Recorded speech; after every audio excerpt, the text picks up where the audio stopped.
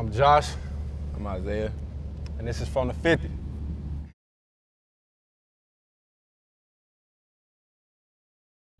What's your name of your high school?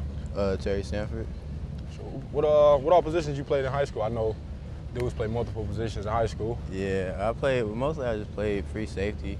Sometimes I play receiver if we really needed it, and then I play like quarterback on the trick plays and stuff like that. So what's your favorite part of playing free safety?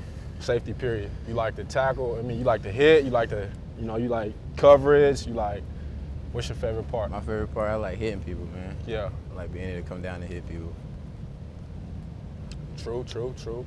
So uh Coach White, he recruited you? Yeah, he he he been recruiting me since like sophomore year. So Good dude, huh? So what uh Yeah. what, what what kind of uh, defense y'all running y'all running high school? uh, we ran cover three, cover two, played man. We really try to we try to mix it up a lot. So majority of the time you was like in the post, Yeah, you uh dropped down in the box any? yeah, a little bit when we knew it was a strong run team. Yeah, be like the extra that. little linebacker. Yeah, you know, have Yeah. out there. So Yeah.